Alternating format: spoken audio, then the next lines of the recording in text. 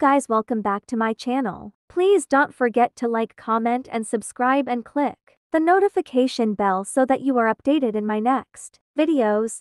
Thank you and enjoy watching. The success of Queen of Tears owes much to its cast, particularly the undeniable chemistry between its leads. Naturally, fans are all aboard the shipping boat, hoping for a real-life romance between Kim Soo Hyun and Kim Ji Won.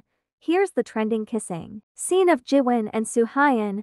They're not just reading tea leaves, they're analyzing every blink, every shared smile, as potential evidence of their love connection. If these two sneeze simultaneously, it's practically a marriage proposal in fan circles. So, here's a chuckle-worthy roundup of all the netizen discovered clues pointing towards a blossoming off-screen love affair. Kim, Soo Hyun and Kim Ji Won found themselves at the center of dating rumors after a public appearance by the latter. Speculation ignited when Kim Ji Won was spotted at Incheon Airport on May 12 en route to Singapore for a Bulgari perfume launch event. Fans took notice of her security detail, particularly one familiar face, the bodyguard often seen with Kim Soo Hyun during his international engagements. The sighting quickly went viral, prompting fans to wonder if this could signal an off-screen romance between Kim Ji Won and Kim Soo Hyun, a pairing long hoped for by their admirers.